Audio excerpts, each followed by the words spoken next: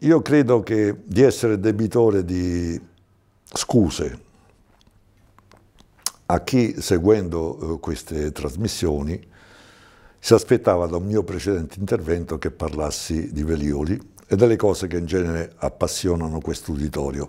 che so essere molto vasto. Ecco, invece ho parlato della tragedia di Ustica. Chiedo scusa quindi a chi eh, è rimasto deluso, e, però vorrei anche dire che mh, davo per scontate naturalmente eh, delle contumelie, delle reazioni scomposte, eh, delle volte anche grossolane, e soprattutto di chi ha dato voce eh,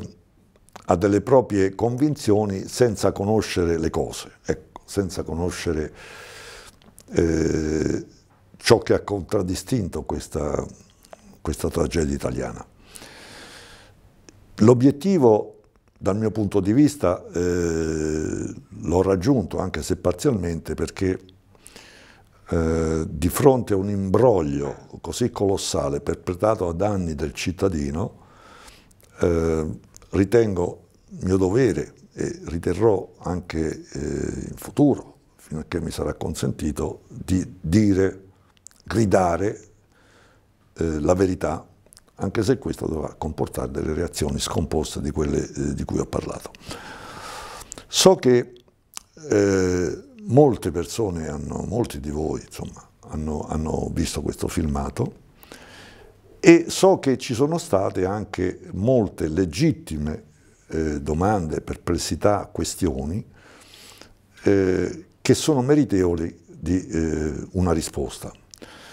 Ecco, proprio per questo nella nostra associazione, eh, forti della disponibilità di tutti ad avere un atteggiamento del tipo eh, che io ho preannunciato come mio personale, daremo risposta a tutti questi quesiti. Quindi io ringrazio chi ha voluto manifestare dei dubbi, delle perplessità e naturalmente le raccoglieremo tutte e risponderemo. Risponderemo cercando di essere convincenti. Non lo sono stato io, allora prenderemo delle persone che mi auspico siano più convincenti di quanto abbia potuto essere io. E, e quindi approfondimento tecnico oppure di carattere giuridico, di carattere storico, di carattere sociale, tutto quanto avrete una risposta eh, nei prossimi giorni. E quindi vi posso già annunciare che abbiamo, stiamo mettendo a punto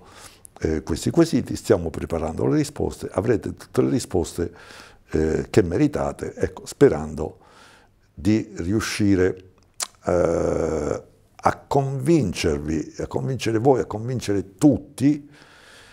che la storia di Ustica non finisce qui, eh, che deve avere diciamo, un seguito sia nella percezione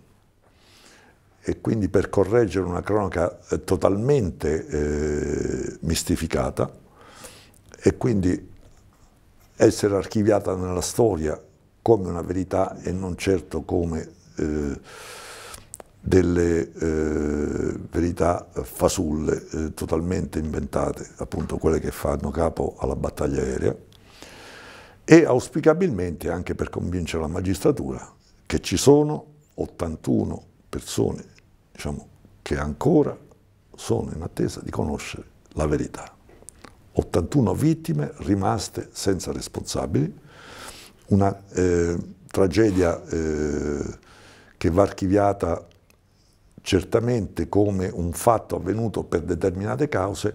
e che possibilmente possa anche esserci un'idea eh, di chi ha la responsabilità di questa tragedia.